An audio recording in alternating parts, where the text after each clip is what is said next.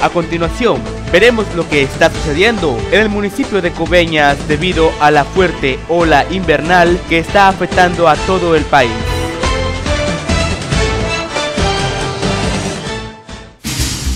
Con esta triste noticia amanece el municipio de Coveñas y vemos todo que sigue de mal en peor.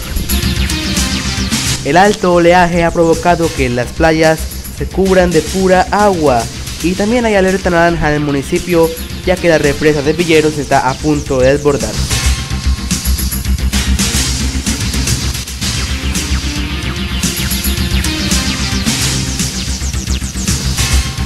Todos están muy preocupados por lo que está pasando y ojalá tomemos conciencia de lo que está haciendo el invierno en nuestro país. No solo en Coveña ni en Toluca, ni en el departamento de Sucre ni de Córdoba, sino en todo el país.